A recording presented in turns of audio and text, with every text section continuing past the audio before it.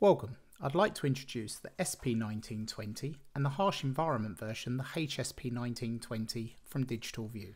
These controllers support a combination of inputs, two HDMI, one DVI, one VGA, two composite and one component. Panel support is Full HD, 10-bit, panel connectivity is LVDS, it has an integrated MP4 media player that can be used for signal failover, and has RS-232 function control.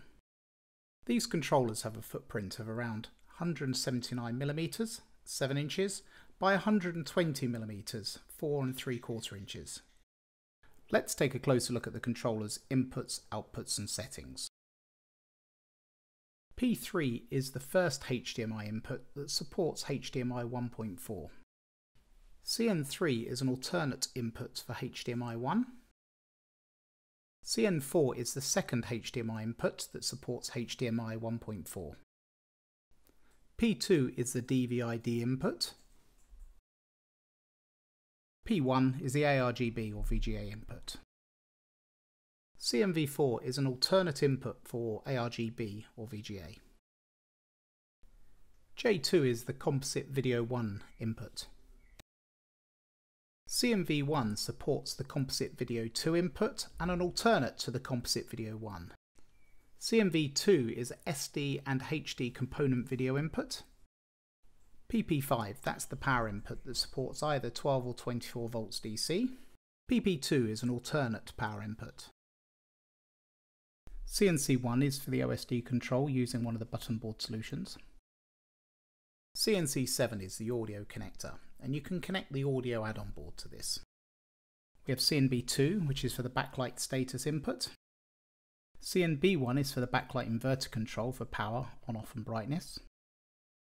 CNA1 is for the auxiliary power output.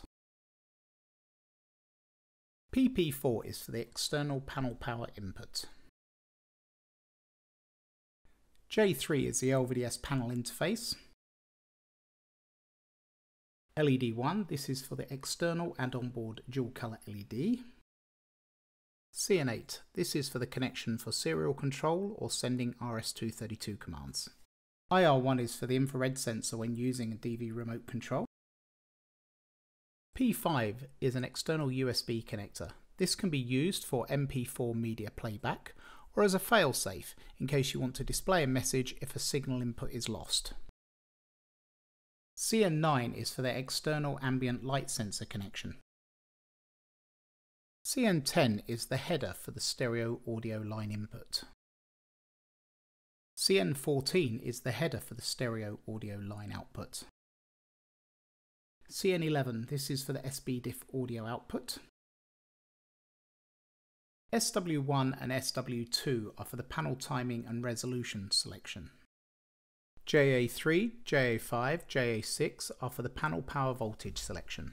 JB1, JB2, JB3 and JB7 are all for the control of the backlight settings. JB5 is the backlight control type selection. And finally, JP6 is for the input power control. On the Digital View website, you'll find all our controllers' product pages have a download section. This is for brochures, manuals, 2D, 3D drawings. If you have any questions about these controllers or any of our controllers, please get in touch with your local Digital View office. Thank you for listening.